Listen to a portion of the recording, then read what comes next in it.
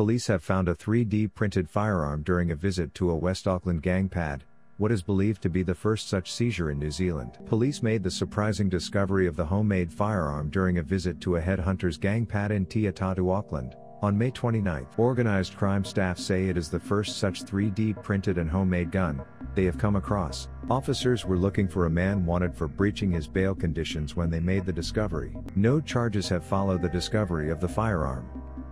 Police said inquiries are ongoing and charges are likely. The gun resembles a plastic toy, aside from the short metal barrel and the live rounds poking out from a homemade magazine. It is also marked with a phrase that indicates it is a semi-automatic pistol caliber carbine designed and manufactured by an anonymous European online figure. The designer's name also appears on the firearm.